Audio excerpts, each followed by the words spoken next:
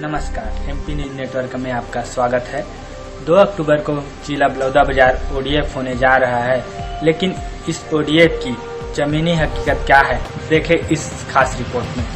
छत्तीसगढ़ के बलौदाबाजार ज़िले को खुले में शौच मुक्त घोषित करने हेतु 2 अक्टूबर की तारीख निर्धारित की गई है।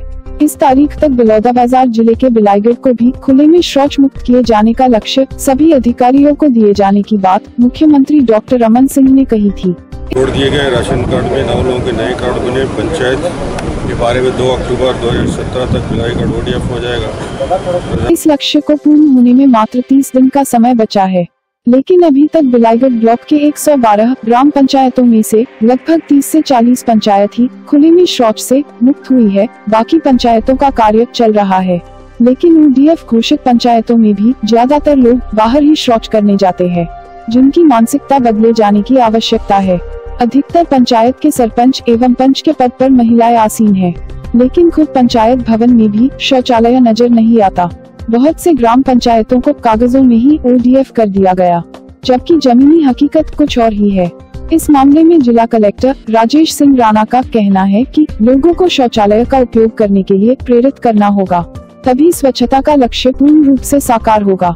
यही वजह है कि खुद जिला कलेक्टर गांव-गांव जाकर लोगों को समझाइश दे रहे हैं। यहाँ बिलाईगढ़ जनपद में विभिन्न ग्राम पंचायतों में स्वच्छ भारत अभियान के अंतर्गत कार्यशाला और जागरूकता अभियान यहाँ संचालित किया गया। जिसके अंतर्गत शौचालय निर्माण और उनका उपयोग सुनिश्चित करने के लिए आम जो ग्रामीण है, उनको बताया गया। उनकी सहभागिता के लिए प्रेरित किया गया और साथ ही जो थोड़ी बहुत समस्याएँ आती हैं पंचायत स्तर में, उनको समन्वय करके दूर करने के लिए यहाँ देश के प्रधानमंत्री ने शहरी और ग्रामीण क्षेत्र को खुले में शौच मुक्त करने के लिए प्रदेश और जिला प्रशासन को जवाबदारी सौंपी थी, जिसमें कुछ हद तक तो सफलता भी मिली। लेकिन बलौदाबाजार ज़िले में शौचालय बनाने के लक्ष्य को जबरन पूरा किया जा रहा है। ज़िले के अधिकांश ग्रामीण क्षेत्रों में शौचालय निर्माण के नाम पर सिर्फ़ औपचारिकता का निर्वाह किया गया।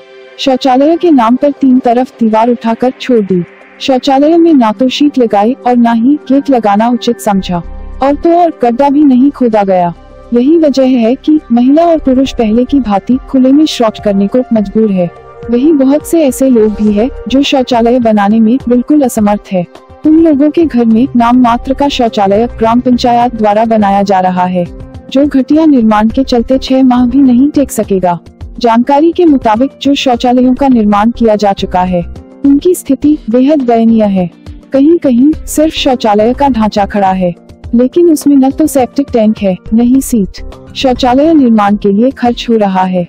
सरकारी पैसा पूरी तरह भ्रष्टाचार की भीड़ चढ़ता दिखाई दे रहा है। बावजूद इसके कोई प्रशासनिक कार्रवाई होती फ़िलहाल नज़र नहीं आ रही है। शौचालय अधूरा है।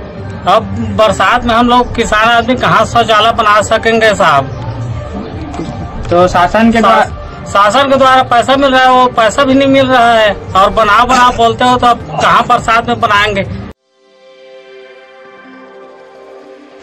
आपने देखी होगी इस रिपोर्ट में, शौचालय और उसकी जमीनी हकीकत क्या है? क्या 2 अक्टूबर तक बिलाईगढ़ बलौदा बाज़ार सहित छत्तीसगढ़ ओडीएफ हो जाएगा?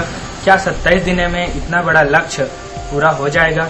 या फिर कागजों में ही ओडीएफ कहलाएगा? अब सोचने वाली बात है। कैमरा पर्सन वेद प्रकाश के साथ Karan Sahu MP news network Bilaigarh